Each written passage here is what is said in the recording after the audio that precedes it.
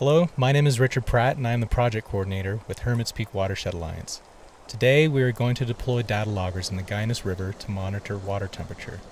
One reason we do this is because water temperature influences most physical and biological processes in streams, and along with stream flow is a major driver of ecosystem processes. The New Mexico Environment Department has listed the Gallinas River as temperature impaired and in many areas does not support its high quality cold water aquatic life use. This is referring to trout and the type of organisms that trout feed on. To monitor the temperature of the Gallinas River, we are using an optical data logger that records the temperature every hour. We are deploying these in May and we will pick them back up in September.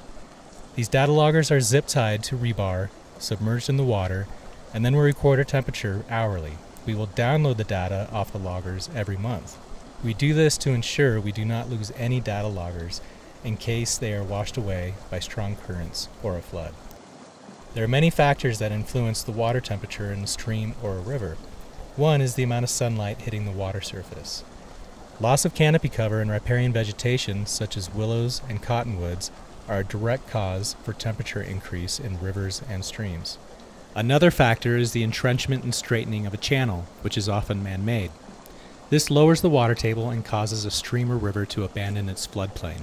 Entrenchment also causes a lack of natural features such as meanders and pools, which increase the residence time of a volume of water in a stream, and in combination with canopy, provide shade and depth for water to cool.